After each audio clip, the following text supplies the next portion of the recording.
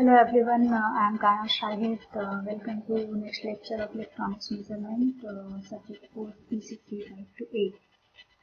Uh, we are uh, discussing about power measurement and uh, the method that we have left in the last lecture was uh, bolometer method and it was not complete in the last lecture so we will go through this method first and if time permits then we will go for the calorimeter method. Uh, the topic is power measurement uh, at audio and radio frequency if you are not aware of that yet. Uh, okay, so power measurement by the bolometer method. Uh, I have already discussed what is uh, bolometer element is and how it is uh, important for the measurement of power. Uh, now I will directly go to this arrangement and discuss how this uh, whole process um, is working. So uh, in this arrangement you can see there are um, three actually we can divide this whole arrangement into three parts. One is where the RF input is coming, that is your coaxial cable. The next part is the mounting, or the connection between the bolometer element with the RF power input. And the third is the auxiliary circuitry arrangement that we can see in this unit, uh, in this unit. So, the first thing is that uh, the bridge. The auxiliary bridge has been supplied with two uh, powers. One is your uh, DC bias voltage to a variable resistor or state uh, we call it. Um, this supply and the next supply voltage is audio frequency voltage which is of lower frequency, lower radio frequency range, not very high frequency range. And uh, in, uh, Next uh, part is that uh, the RF input power. Okay, the first thing is that this auxiliary arrangement, uh, auxiliary circuit, this circuit arrangement should be uh, isolated from the RF power. So this uh, has been done with the help of RF bypass capacitor. This will isolate uh, the circuitry from the RF circuitry. So uh, this you can see uh, this is your uh, coaxial cable where the RF input is coming. This cable has been connected with uh, bolometer element and the impedance matching has been done has been done with the help of tapering of the coaxial cable. Here you can see the shape it has been changed. This is called tapering of the coaxial cable this will uh, cause the impedance matching of the coaxial cable with the bolometer element. So normally we know that impedance line, uh, line impedance uh, is of uh, 50 ohm and the bolometer element can be the range of depending on the element you choose uh, it uh, either the thermistor type or the barretter type, the bolometer element resistance can range from 120 to 200 ohm. So if you are using a coaxial cable, mainly the 200 ohm resistance is used. If you are using a waveguide, then the arrangement of mount mounting and the element of the bolometer uh, will be different. As, uh, yes, the resistance of the bolometer element will be different if you are choosing a waveguide. Here we are uh, having a coaxial cable. So the element uh, can be in the range of 200 ohm. Next, this uh, lender or four stuck for bolometer ground uh, ground is actually uh, taking uh, one part of the coaxial line and uh, connecting another part with the uh, any circuit. It can be another part can be grounded or can be short circuited. Here it will return to this circuit and make the circuit complete. Uh, yeah, it will give a ground return. The so you can see in this arrangement that the bolometer element is actually uh, uh, one branch of this bridge circuit. So uh, whatever the resistance of this element, bolometer element will affect the bridge because all the three branches have the resistances and we don't know what the resistance of this element is. So uh, whatever the power it, uh, whatever the power will be imposed on this uh, uh, element will affect the resistivity of this element and hence will change the balance of the circuitry. Again the resistive, uh, again the bridge arrangement can be of different types. You can use initially a balanced bridge or unbalanced bridge uh, depend, uh, depending on the uh, arrangement. Here the circuitry that we are using is that uh, the bolometer element will be at one time it is affected by three different power sources as you can see. One is RF input power, another is DC bias voltage, and the third one is the audio frequency voltage supply. Whose uh, okay, we won't go there now. So uh, three power supply has uh, is uh, DC voltage is will only control the current from this uh, circuitry.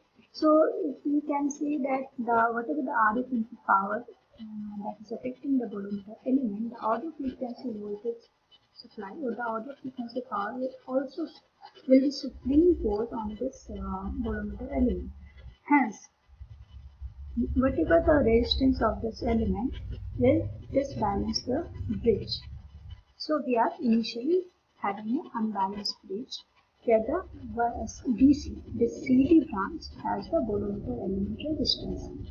So uh, to make the uh, bridge balanced, we uh, change this uh, variable resistance due to which the current flowing through this uh, that bias voltage will change. And hence we will change this uh, current until the bridge get balanced. Yeah the bridge get balanced. Okay remember when we are changing the resistance to make the bridge balance, the RF input and the audio uh, frequency supply both are acting on the uh, element. Okay, so uh, the whatever the resistance, whatever the power that this bolometer element is experiencing is due to the uh, both the power RF input and the audio frequency supply. So after changing the uh, these uh, this DC bias volt, uh, voltage, after changing the current flowing through this uh, circuitry due to DC bias voltage, we make the bridge balanced in effect of the RF input and the audio frequency supply. Once the bridge is balanced, we keep the DC bias voltage fixed, right? Once the bridge is balanced, we keep the DC voltage fixed. Then we remove the RF input. Okay, we remove the RF input and due to the removal of RF input, now the element is only in effect of the audio frequency supply. Okay, again the element resistance will change and the bridge will get disbalanced. Are you trying to get it? Yeah. After so we are removing the RF input. Now the bridge get disbalanced, uh, unbalanced again and disbalanced again and uh, thus only uh, we have fixed the DC bias voltage. So we will change the audio frequency supply to make this bridge sorry to, uh, to make this bridge balanced again. So whatever uh, whatever audio frequency supply you uh, whatever audio frequency voltage you apply to the bridge to make the bridge balance again. Or you can say whatever power audio frequency power you are given to make the bridge balance again after removal of RF input power this power is actually equivalent to the RF input power. Because the bolometer element is not dependent initially when the bridge was unbalanced. The bolometer element was affected by all the three voltages in spite of the different frequency ranges because this is DC voltage, this is your RF power and this is your audio frequency power. So in spite of, uh, despite of their uh, frequency differences, the bolometer element was affected by their power. So once we remove the RF input power and if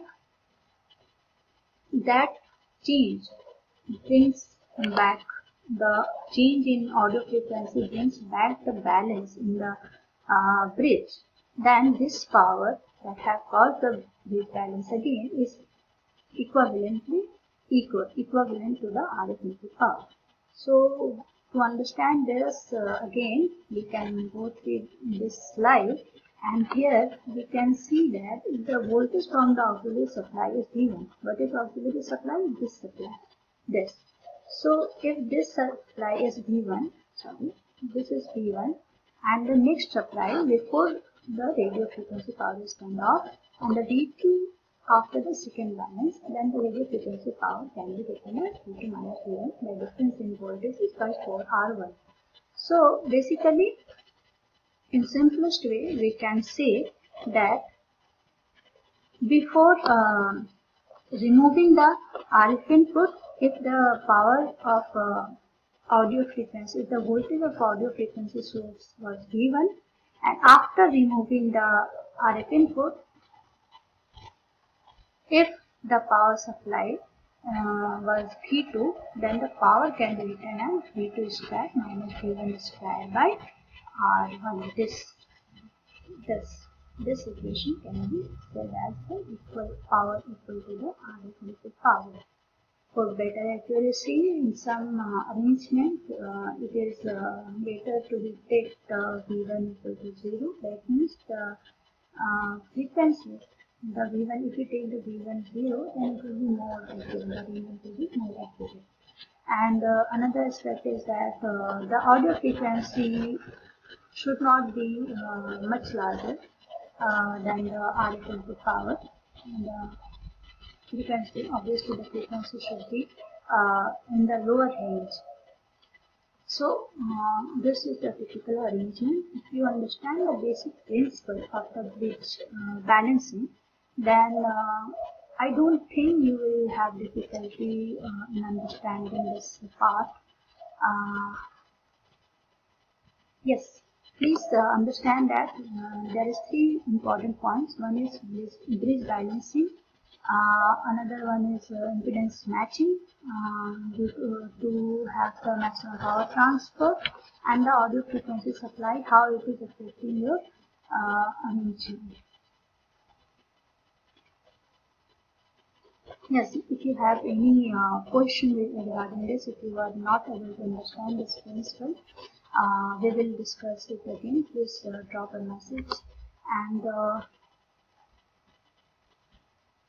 this is uh, this is the equation that can be um, used. So it's a really simple uh, process and for different yeah that's all. So uh,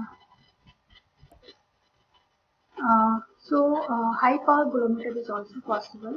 Uh, as we know that uh, the bolometer can be used generally to uh, measure power in the range of microwatt or milliwatt but with the use of different arrangement we can also be able to measure power of in the range of 50 watts so uh, please go through all the details uh, of uh, this uh, high power bolometer or uh, different arrangement of this circuitry. I have uh, used, I have given a reference book, electronics measurement by penetrated. Please go through this and if you have any question regarding this please drop a message to me. thank you.